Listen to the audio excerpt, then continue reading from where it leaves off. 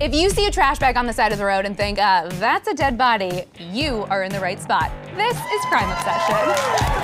Welcome to Crime Obsession, your true crime talk show. I'm your host, Traci Stumpf, and this episode, we're taking a look at what makes true crime podcasts so addictive. I'm gonna be talking with Catherine Townsend, the host and producer of the mesmerizing podcast, Hell and Gone, and then I'm heading to the streets to talk to you, the true crime junkies. Please welcome Skye Borgman, the director of Abducted in Plain Sight. So a big thing on the internet right now is that the parents are lying. Right. Do you believe the parents? I totally believe the parents. You do. Even though the dad omitted the the whole affair Yeah. from the book, Right. and that you didn't even get that information until you saw the FBI files, right? Right, Did right. that like lead you to believe that there was more secrets that they were keeping? You are royalty where I come from. Where do you come from? The true crime The world. The true crime world. Yeah. Yes. Well, thanks for having me.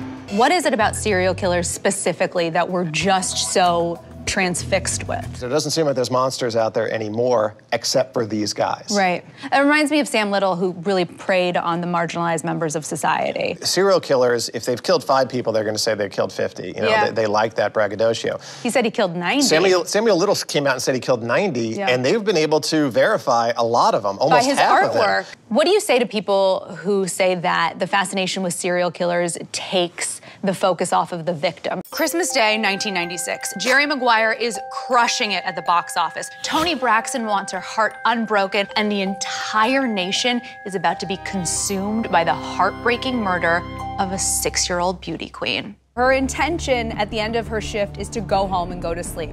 She gets off on the wrong floor, goes to the wrong apartment number, clearly stated, not, not her apartment, bright floor mat on the floor, notices that the door is ajar and still goes. There's so many signs pointing to that this is not where she sleeps every night. Do you get the sense that the defense team was trying to get Amber to declare innocence? Absolutely, I, I think that, that the defense team wanted Amber to go before the jury and invoke some sort of sympathy. How does that work after you confess? Here to help us is the legendary host of Deadly Women. Please welcome Candice DeLong. Let's dive into the psyche of uh, Chris Watts. At what point in a relationship does it get so bad that divorce is no longer an option? What's your favorite podcast? My favorite murder? The best. Yeah. What would you do if you found a body? Can I ask you a couple of questions for our show? You're so beautiful. I want to talk to you so much, but I'm running. I know. Do you like true crime?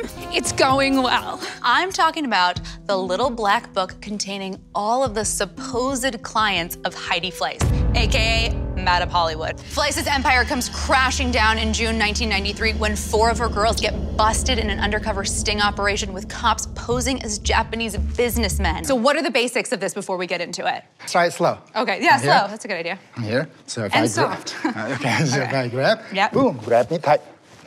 Bring it in. Widen my out of the stance. Move in my Smash. Smash with. Nice. Finish him. Very good. Ooh, I feel powerful. awesome. Manson has been the face of evil for nearly 50 years, but his grandson Jason is trying to transform their name into one of forgiveness and mercy. Jason, do you think there's a genetic disposition to being a criminal? For sure. Did you ever get into the conversation of why he did what he did? Stay safe out there. We'll see you guys next time. Bye. Cheers! When I see the words Amanda Knox, nothing. Uh, BTK, Neither.